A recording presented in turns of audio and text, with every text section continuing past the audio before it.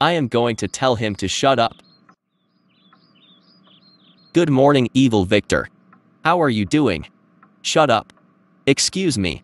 That was rude. You don't tell me to shut up. Use your manners, please. No, I'll never use my manners. Now shut up. I thought I said to use your manners. And don't tell me to shut up again. I already know how to use manners. Now would you shut up? If you tell me to talk to me that way, then you're grounded. Just shut up. Evil Victor, stop telling me to shut up. That was bad manners. That's not you are supposed to say your manners in a polite way. Okay fine, sorry. No, way too late for that.